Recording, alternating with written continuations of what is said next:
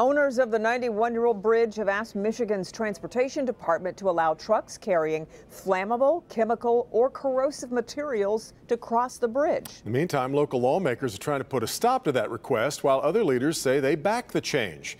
Local 4 defender Karen Drew has been talking with all the sides on this and has the latest on this growing and very heated controversy that has one Detroit community very worried. The big concern here is if trucks are allowed to cross the Ambassador Bridge and carry hazardous materials, what happens if there's a spill? What does it mean to the people here in this community, the environment, and really our economy, as this is the busiest trade crossing in North America?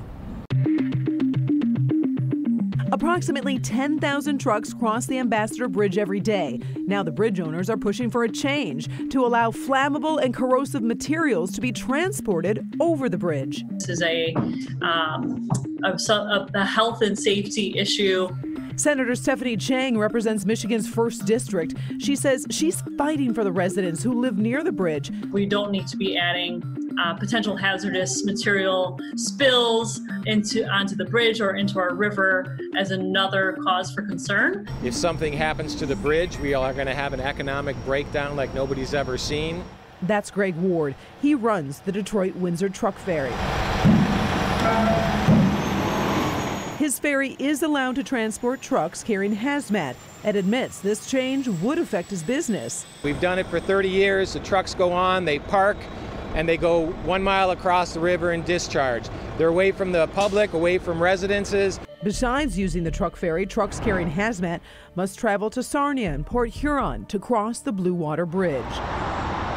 When I talked with Bridge Company President Dan Stamper, he said allowing the Ambassador Bridge this change would increase net safety for all Metro Detroiters.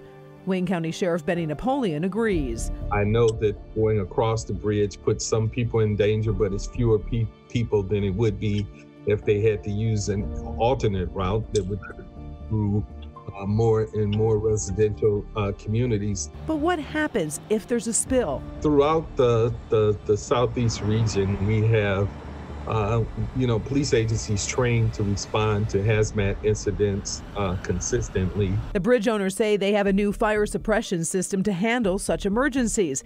But in a recent letter from MDOT to the bridge company, the state mentions a 2018 inspection report that did not note the presence of such system.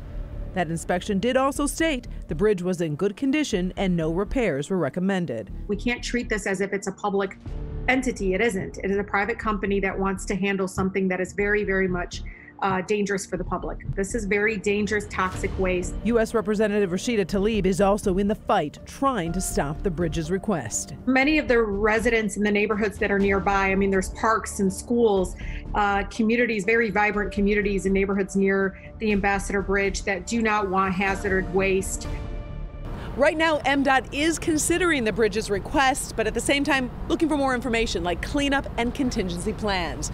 Reporting in Southwest Detroit, I'm Karen Drew, Local 4 Defenders.